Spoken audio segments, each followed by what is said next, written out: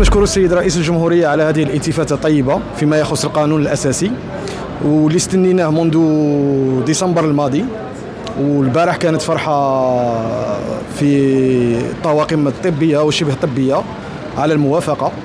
آه، إن شاء الله بإذن الله تكون آه، الاصدار القانون يكون آه، في مدة قصيرة.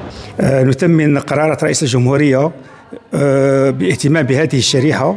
من المجتمع شريحة عمال الصحه ونتمنى أن تكون يكون القانون الأساسي في مستوى تطلعات وطموحات عمال الصحة. في الحقيقة هذا القرار الذي أقره السيد رئيس الجمهورية وصادق عليه مجلس الوزراء جاءنا صراحة مفرح وأثلج صدورنا لأنه في حقيقة جاء بعد جهد جهيد خاصة بعد الجائحة التي مرت به البلاد جائحة كورونا التي هذا المسار وإنما جاء كثمرة جهد للطاقم الطبي والطاقم الشبه الطبي ونشكر ونشكر كذلك وأعيد وأكرر على السيد رئيس الجمهورية الذي إن دل هذا على شيء إنما يدل على اهتمامه الكبير بقطاع الصحة بالجزائر عموما واهتمامه الكبير بالطاقم الطبي والشبه الطبي نحن كمنتسبي القطاع آه نسمن هذا هذا القرار والذي جاء نتاج ثمرة آه عمل وجهد أقر به السيد رئيس الجمهورية وهو اعتراف